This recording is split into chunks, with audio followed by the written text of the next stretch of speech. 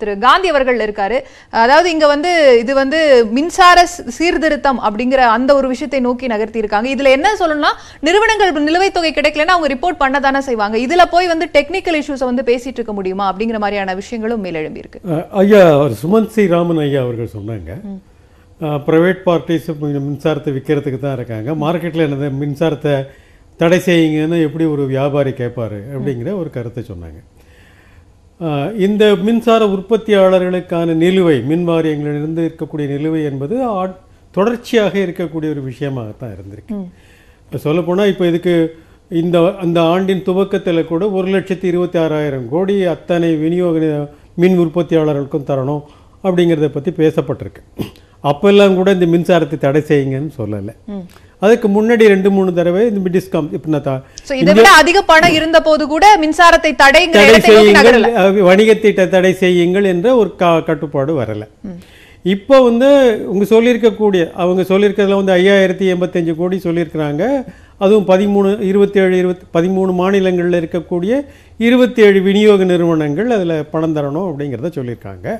அது ஒரு பெரிய தொகையாகவும் இல்லை. அந்த தொகை இருபத்தேழு மாநிலங்களுக்கு பிரித்தா அது ஒன்றும் பெரிய பெரிய தொகையாக இருக்கிறதுக்கு வா வாய்ப்பு இல்லை அப்போ அதை வந்து நீங்கள் இன்றைக்கி விநியோகத்து ப சந்தையில் வந்து விற்கிறதுக்காக தடையாக சொல்ல வேண்டியதாகவும் அது ஒரு சந்தையாகவும் சொல்ல வேண்டியதில்லை. இதில் முக்கியமான ஒரு விஷயம் மறைக்கப்பட்டிருக்கிறது. இந்த ஒரு லட்சத்தி இருபத்தாறாயிரம் கோடி மின் உற்பத்தியாளர்களுக்கு தர வேண்டிய நிலுவையாக இருந்த தொகையை மத்திய அரசு ஒரு திட்டத்தின் மூலமாக அந்த கடனை நாற்பத்தெட்டு பகுதிகளாக மந்த்லி இன்ஸ்டால்மெண்ட்டாக பிரித்து ஒவ்வொரு மாநிலமும் இது பணத்தை கட்டிடணும். அவங்களுக்கு இருக்கக்கூடிய இந்த இன்ட்ரெஸ்ட் அந்த இன்ட்ரெஸ்ட் கிட்டத்தட்ட ஒரு ஆறாயிரத்தி முந்நூறு கோடி ரூபா வருது. அந்த இன்ட்ரெஸ்ட் கிடையாது. டிஃபால்ட் ஆனால் மட்டும் இந்த இன்ட்ரெஸ்ட் வரும் அப்படிங்கிற ஒரு கண்டிஷன்ஸ் கொடுத்துருக்காங்க. அது அது நடைமுறையில் வந்துருச்சு. எப்போன்னா மே மாதம் முப்பத்தி ஒன்றாம் தேதி வரையில் இருந்த நிலுவைகள் இந்த திட்டத்திற்குள் போய்விட்டது. லிக்விடேஷன் திட்டத்திற்குள் போய்விட்டது. அதற்கு பிறகு நிலுவை என்று சொன்னால் ஜூன் ஜூலை ஆகஸ்ட். கிட்டத்தட்ட எண்பது நாட்கள் தான் இருக்கு. ஒரு பில்லை நீங்கள் கொடுத்தா கொடுக்காம போனாங்க இருக்கக்கூடிய காலங்கிறது ஆறு மாதம் அறுபது நாள்லேருந்து எழுபத்தஞ்சு நாள் இருக்கலாம். இப்போ அதிகபட்சமாக இருக்கிறனால எண்பது நாள் தான் இருக்குது எந்த நிறுவனம் திடீர்னு இவ்வளவு காலமும் மௌனமாக இருந்த உற்பத்தியாளர்கள் திடீர்னு எண்பது நாளைக்குள்ளே வந்து இதில் உற்பத்தியில் எனக்கு கொடுக்கல அப்படின்னு ஒரு கம்ப்ளைண்ட் பண்ணாங்க. அந் ஏனென்றால் பாக்ஸோ அந்த மின் கட்டமைப்பை செயல்படுத்த மத்திய அரசு நிறுவனம் யார்கிட்டேருந்து குறைபாடு வந்தால் மட்டும்தானே அவங்க அதை செய்ய முடியும். உற்பத்தியாளர்கள் வந்து எனக்கு பணம் கொடுக்கலன்னு சொன்னால் தான் கொடுக்க முடியும். எந்த உற்பத்தியாளர்கள் அந்த மாதிரி கேட்டாங்க எந்த நிறுவனத்திலேருந்து வரலைங்கிறத சொன்னாங்க அப்படின்னு சொல்ல முடியாது. இல்ல அவங்க தான் நம்ம இவ்வளவு நிலுவைத் தொகை வந்திருக்கு அப்படின்னும் போது அது பற்றி தான் ஐயா கார்த்திகேஸ் ஐயா அவர் சொன்னாங்க. அது வந்து போர்ட்டலில் இருக்கக்கூடிய பிரச்சனை. செலுத்தப்பட்ட பணம் என்பது அந்த போர்ட்டலுக்கு போய் சேரல. அது தொழில்நுட்ப பிரச்சனை இது சரியா இருக்கா தவறா இருக்காங்கிறத நம்ம சொல்ல முடியாது. நாம சொல்றது வந்து ஒரு லாஜிக்கா சொல்றேன். ஒன்றரை லட்சம் கோடி அதுக்கு முன்னாடி இருந்த காலகட்டங்களில் எல்லாத்துலேயுமே கூட ஊரடங்கு காலத்தில் ஒரு லட்சத்தி முப்பதாயிரம் கோடி ரூபாயை மத்திய அரசு பட்ஜெட்டிலே ஒதுக்கி கொடுத்தாங்க. அந்த மாதிரி உற்பத்தியாளருக்கு தர முடியாமல் போயிடுது டிஸ்காம்க்கு. டிஸ்காம்க்கு வணிகம் இல்லாமல் போய்விட்டது என்று சொல்லி கொடுத்துருக்காங்க.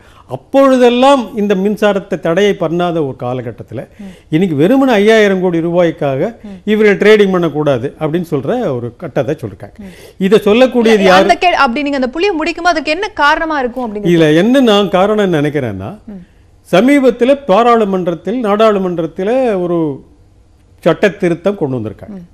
இந்த சட்ட திருத்தம் ஐந்தாவது சட்ட திருத்தம் இதற்கு முன்னதாக கொண்டு வரப்பட்ட நான்கு சட்ட திருத்தங்கள் ரெண்டாயிரத்தி பதினாலு ரெண்டாயிரத்தி பதினெட்டு ரெண்டாயிரத்தி இருபது ரெண்டாயிரத்தி இருபத்தொன்று நாலு சட்ட திருத்தங்களும் விநியோக பிரிவுகளை தனியாருக்கு கொடுக்க வேண்டும் என்ற ஒரு சட்ட திருத்தம் இருக்கிறது. இதில் க ரெண்டாயிரத்தி பதினெட்டுலேருந்தும் ரெண்டாயிரத்தி இருபதுலேயும் இருபத்தி ஒன்றுலேயும் சொல்லக்கூடிய விஷயம் என்னென்னா national load despatch centre India முழுவதும் இருக்கக்கூடிய மின்சார கட்டமைப்பு இருக்கக்கூடிய நோஷ நேஷனல் லோட் டிஸ்பேச் சென்டருக்கு ஒரு புது அதிகாரத்தை கொடுக்குறாங்க. என்னென்னா அவங்க பேமெண்ட் செக்யூரிட்டி இருக்கணும். பேமெண்ட் செக்யூரிட்டி கொடுக்காதவங்க பேமெண்ட் பண்ணாதவங்களுக்கு ஷெடியூலிங் அதாவது அவங்க மின் கட்டமைப்பில் அவங்க உற்பத்தியை இணைக்கக்கூடாது. அப்படி கொடுக்காமல் இருக்கக்கூடிய அந்த விநியோக நிறுவனங்களுக்கு இந்த மின் கட்டமைப்பிலிருந்து எடுத்துடணுங்கிறது தான் அந்த திட்டத்தினுடைய வழி. அதுதான் அந்த திருத்தத்தில் இருக்கக்கூடிய விஷயம். இது நாடாளுமன்றத்தில் அத்தனை எதிர்க்கட்சிகளும் எதிர்த்திருக்கிறார்கள். அது மட்டுமல்ல இதுக்கு முன்னாடி வந்த நாலு சட்ட திருத்தம் மாநில அரசுகளுடன் பேசியிருக்கிறது. சரி. மின்சாரம் கன்கரண்ட் லிஸ்ட்ல இருக்கு. எல்லா மாநில அரசு கூட பேசியிருக்காங்க. அந்த நாலு திருத்தமும் கைவிடப்படுவதற்கு காரணமே மாநில அரசுகள் ஏற்றுக்கொள்ளவில்லை என்பதுதான். அதுல எந்த அரசியல் கட்சி இருந்தது எந்த அரசு ஆளுங்கட்சியா இருந்தவர்கள் எதிர்க்கட்சியா இருந்த எல்லா மாநில அரசுகளும் அதை எதிர்த்தார்கள். அதெல்லாம் கைவிடப்பட்டது. ஐந்தாவது வந்திருக்கக்கூடிய சட்ட திருத்தம் ரெண்டாயிரத்தி இருபத்தி ரெண்டு சட்ட திருத்தம் எந்த மாநில அரசு கூட பேசப்படலை. சரி. விவாதிக்கப்படலை. நேரடியாக பாராளுமன்றத்தில் தாக்கல் செய்யப்பட்டிருக்கிறது. அதனால தான் இப்போ எதிர்க்கட்சிகள்லாம் எதிர்க்கிறாங்க. இது ஒரு விஷயம். அப்போ இன்னைக்கு நடந்திருக்கிற இந்த நிகழ்ச்சி ஒரு- ஒரு லட்சக்கணக்கான கோடியில் இருந்தபோது கொண்டு வரப்படாத தடை. இன்றைக்கு வெறும் ஐயாயிரம் கோடி ரூபாய்க்காக பதிமூன்று மாநிலங்களை தடை செய்கிறது என்ற ஒரு நிலைப்பாடு என்பது அந்த சட்ட திருத்தத்தில் அவர்கள் என்ன கொண்டு வர விரும்புகிறார்களோ நேஷனல் லோட் டெஸ்பாச் சென்டருக்கு என்ன அதிகாரத்தை கொடுக்கிறார்களோ அதை செயல்படுத்துகின்ற ஒரு முறையாக இருக்கிறது. முக்கியமாக ஒன்றை சொல்ல வேண்டும். எந்த நிறுவனம் தங்களுக்கு பணம் வரவில்லை என்று சொல்லி இந்த போக்சோவுக்கு கம்ப்ளைண்ட் செய்தார். சோ அடிப்படையில் அந்த நிறுவனங்கள் கண்டிப்பா இப்படி ஒரு புகாரை அளித்திருக்க வாய்ப்பில்லை. அழித்திருக்கணும் அழித்திருக்க வாய்ப்பு இல்லை. ஏன்னா ஐயா அவங்க சுமந்த் ஸ்ரீராமன் அவர்கள் கூட சொன்னாங்க. நான் வணிகம் செய்கிறவன் என் வணிக எண்பது நாளைக்குள்ள வரலன்னொன்னா அவங்க அதிகபட்சமா என்ன செய்ய முடியும்னா அந்த நிறுவனத்துடன் பேசுவாங்க மெயில் அனுப்புவாங்க. அதில் குறைந்தபட்சம் ஒரு ஆளை அனுப்பிச்சு எனக்கு பணத்தை பார்த்து பேசுவாங்க. அதோட தலைமை அதிகாரிகிட்ட பேசுவாங்க. அப்படித்தான் இருக்க முடியும். அவங்க எங்க பார் பண்றாங்கன்னா ட்ரேடிங்ல. ஒரே நிமிஷம் ஒரு சின்ன குறுக்கீடுக்காக சுமந்த் கேக்குறாரு. எஸ் ப்ளீஸ் அதாவது அஹ், முதல்ல நம்ம புரிஞ்சுக்க வேண்டியது இதனால வந்து முழுமையாக மத்திய அரசோ இல்ல மத்திய பவர் ஜெனரேட்டிங் யூனிட்ஸோ தமிழ்நாட்டுக்கு இனிமே மின்சாரம் கொடுக்காது என்று அர்த்தம் அல்ல. இந்த எக்ஸ்சேஞ்ச் மூலமாக நீங்க ட்ரேட் பண்றதுதான் வந்து சஸ்பெண்ட் பண்ணியிருக்காங்களே தவிர இந்த பதிமூன்று மாநிலங்களுக்கு. ஏதோ வந்து எல்லா மத்திய அரசு பிளான்ட்ஸ்ல இருந்து இல்ல வெளி மாநிலங்களிலிருந்து வர்ற அனைத்து மின்சாரமும் நிறுத்தப்படும் அப்படிங்கிற மாதிரி விஷயமே கிடையாது. இது அண்ட் ரெண்டாவது விஷயம் இந்த ஒரு ராமன் நீங்க எனக்கு ஒண்ணு சொல்லுங்க. வணிகம் என்று வந்துவிட்ட பிறகு இது வணிகத்தில் இருக்கக்கூடிய ஒரு பிரச்சனை. நம்ம சந்தை பொருளாதாரத்தில் இருக்கிறோம். மத்திய அரசு நீங்கள் இங்க வணிகம் செய்யாதீர்கள் அல்லது வாங்காதீர்கள் சொல்லுவது என்பது அப்ப வணிக சந்தையில் இருக்கக்கூடிய பொருளாதாரத்திலிருந்து மாறுபடவில்லையா? நீங்கள் பணம் கொடுக்கவில்லை என்றால் பணம் கொடுங்கள் என்று எந்த அல்லது அதற்கு அந்த சந்தையை மறுபடியும் ஊக்குவிக்க வேண்டும் என்பதுதான் மத்திய அரசுடைய சார். கொள்கை. சார் ஒரு சிம்பிள் எக்ஸாம்பிள் பங்கு சந்தையில நம்ம ட்ரேடிங் பண்றோம். நம்ம வந்து பொருளை வாங்குறோம். ஷேரை வாங்கிட்டு அதுக்கு தேவையான பணத்தை நம்ம கட்டவே இல்லைன்னா பர்மனண்டா நீங்க ட்ரேடிங் கண்டினியூ பண்ணுங்கன்னு யாராவது சொல்லுவாங்களா? ஒரு பத்து. நாள் டைம் கொடுப்பாங்க பங்கு ஒரு வாரம் டைம் நான் நினைக்கிறேன். பங்கு சந்தையில பொருள்கள் விற்கப்படுவதில்லை. ஒரு நிறுவனத்தினுடைய பங்குகள் விற்கிறார்கள். மின்சார சந்தை என்பது மின்சார ஷேர் ஹோல் மின்சார ஸ்டாக் எக்ஸ்சேஞ்ச் என்பது மின்சாரத்தை தான் மட்டும்தான் விற்கிறோம். அதுக்கு மின்சாரத்தில் இருக்கக்கூடிய முதல் நாள் விற்கிறோமா முதல் வாரத்தில் விற்கிறோமா இன்னைக்கு விற்கிறோமா அல்லது இந்த ஸ்லாட்ல விற்கிறோமாங்கிறது மட்டும்தான் இருக்குமே முடிக்குமே தவிர அதுல வந்து இங்க பொருள்களை விற்கிறோம். இது வந்து வியாபாரம் தான் இன்னைக்கு நீங்க பணம் கொடுக்கணும் இல்லையா? அமேசான்ல இன்னைக்கு அமேசான்லயும் பிளிப்கார்ட்லயும் நீங்க எப்படி பொருள்களை வாங்குறீங்களோ அது போன்ற ஒரு வணிகம் தான் இன்னைக்கு மார்க்கெட்ல இருக்கக்கூடியது. அதை வந்து நீங்க பங்கு சந்தை கூட ஒப்பிட முடியாது stay in இல்ல the சார் stock exchange பணம் கொடுக்காம இருந்தா எப்படி எந்த ஒரு சந்தையில் எந்த- ஒரு சந்தையில் இன்னொரு இன்னொரு. விஷயத்தையும் அவர் சொல்றாரு. இதற்கு முன்னாடி. இதோட ரெண்டு அதிகமான லாஜிக்கை பணம் கேட்கிறேன். உங்களுக்கு கடன் ரெண்டு. லாஜிக்கை கேட்கிறேன் நீங்க என்ன சொல்றீங்க வணிகம் என்று? ஒன்று வந்துவிட்ட பிறகு வாங்குபவருக்கும் விற்பவருக்கும் இருக்கக்கூடிய பிரச்சனையாக இருக்கிறது மத்திய அரசு அந்த வணிகத்தை ஊக்குவிக்க வேண்டும் என்பதுதான் பொருளாதாரத்தினுடைய அடிப்படை விஷயம் மத்திய அரசு கூறுவதே வந்து உற்பத்தியாளர்கள் எங்களுக்கு எந்த உற்பத்தியாளர்கள். எங்களுக்கு பணம் வரவில்லை. மத்திய அரசு மாற்று கருத்து இல்லை. மத்திய அரசு சொல்லுமா?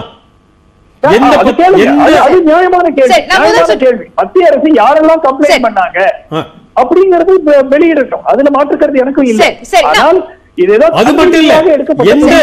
எந்த நிறுவனம் எங்களுக்கு பணம் தரவில்லை எவ்வளவு தரவில்லை என்பதை சொல்ல வேண்டும். அதன் பிறகுதான் நீங்க ஒரு பிசினஸ் சஸ்பெண்ட் பண்ண முடியும். இன்னைக்கு ஷேர் மார்க்கெட் நீங்க ஸ்டாக் எக்ஸ்சேஞ்சில இருந்து ஒரு நிறுவனம் வாங்கக்கூடியதுங்கிறது ரெண்டு. மூணு பர்சன்ட் ஒவ்வொரு ஒவ்வொரு மாநிலமும் எவ்வளவு ஓ பண்றாங்க அப்படிங்கிற டேட்டா அதுலதான் தமிழ்நாட்டுக்கு தொள்ளாயிரம் இல்ல, இதுல இன்னொரு பெரிய logic இருக்கு. இதுல இன்னொரு பெரிய லாஜிக் இருக்கு. இந்த ஸ்டாக் எக்ஸ்சேஞ்சை இன்னைக்கு க்ளோஸ் பண்றதுனால இந்தியாவில் இருக்கக்கூடிய எந்த எலக்ட்ரிசிட்டி செக்டாரோ எந்த டிஸ்ட்ரிபியூஷன் கம்பெனியும் பாதிக்கப்பட மாட்டாங்க. ஏன்னா இன்னைக்கு ஸ்டாக்ல வாங்கக்கூடியதுங்கிற ஸ்டாக் எக்ஸ்சேஞ்சில் மின்சாரம் வாங்க வேண்டிய அவசியம் எந்த விநியோக நிறுவனங்களுக்கு இருக்காது. மழைக்காலம் விநியோகனுக்கு உற்பத்தி அதிகமா இருக்கு தேவைகள் குறைந்து போயிருக்கு ஆகையால ஒருவேளை இன்னைக்கு ஒரு விநியோக நிறுவனம் போய் வாங்குன்னு சொன்னா ஸ்டா- அந்த ஸ்டாக் எக்ஸ்சேஞ்சில் விலை ரொம்ப குறைச்சலா இருக்கு இப்போ வாங்கிக்கிட்டு நம்ம உற்பத்திக்கு எடுத்துக்கலாம் அப்படிங்கிற ஒரு காரணத்துக்காக மட்டும்தான் இருக்க நம்ம தொடர்ந்து பேசலாம் திரு காந்தி. நான் வரேன் திரு சுமந்த். பி ஆர் ஸ்ரீனிவாசன் அதாவது இங்க வந்து மின்சார சட்ட திருத்தம் அது வந்து ஏற்கனவே இருக்கிறது. அதை அமல்படுத்துவதற்கு அதுல இருக்கக்கூடிய அந்த சட்டங்களை கொண்டு வருவதற்கான ஒரு படியா தான் இதை பார்க்குது. ஏன்னா இதற்கு முன்னாடியும் நிறைய பணம் நிலுவைத் தொகையில் இருந்துச்சு. அப்பெல்லாம் வராத மின்சார தடை இப்போது ஏன் அப்படிங்கிற கேள்வி முன்னெழுந்திருக்கு இல்லை எப்போதாவது அதை கொண்டு வரணும்ல. நீங்கள் வந்து ரிஃபார்ம்ஸ் பண்ணும்போது உங்களுக்கு வேரிய ஸ்டேஜஸ் இருக்கும். சார் சொன்ன மாதிரி கோவிட் சுச்சுவேஷன் டைம்லலாம் கூட இவ்வளோ பெண்டிங்கில் இருந்துச்சு சப்பை கூட பண்ணல.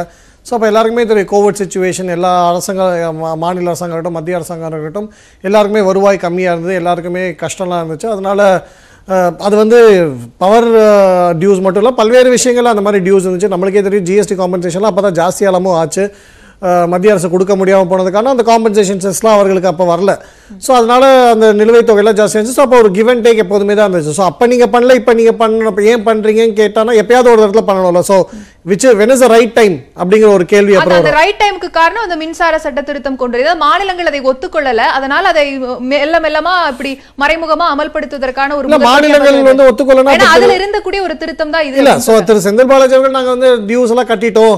சோலார் விண்ட்ல மட்டும் தான் கொஞ்சம் பெண்டிங் இருக்கு. ம, அதுவும் சின்ன அமௌண்ட் தான் இருக்கு அது டூ த்ரீ டேஸ்ல கிளியர் பண்ணிடுவோங்கிறாங்க. சோ அப்ப அந்த ப்ராசஸை கம்ப்ளை பண்றதுல எல்லாருக்குமே தான் அதுல வந்து ஒரு ஒப்புதல் இருக்கு. நீங்க கம்ப்ளை பண்ணாம இருக்க முடியாது.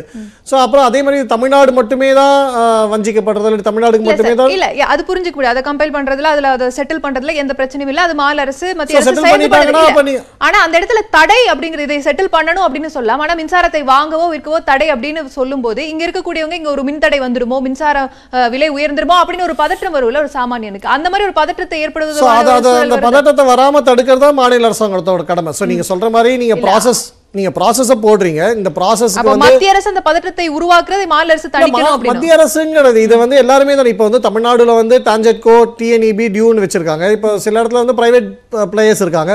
ஸோ பிரைவேட் பிளேயர்ஸ் டியூனா சி எல்லாருக்குமே தானே அது ஒரு கடமை இருக்கு. நீங்க டியூ வைக்கணும்னா உங்களுக்கு ஒரு ப்ராசஸ் இருக்கு. நீங்க ஒன்றரை மாசத்துல பெண்டிங் ரெண்டரை மாசத்துல பெண்டிங் அதுக்கு இவ்வளோ பர்சன்ட் சார்ஜ் இவ்வளோ பர்சன்ட்